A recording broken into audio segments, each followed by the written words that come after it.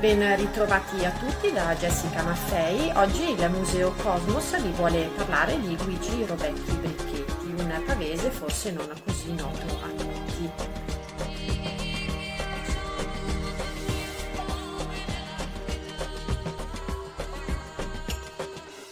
Tra il 1888 e il 1891 compì ben tre spedizioni nel cosiddetto Corno d'Africa, ovvero nella penisola somala.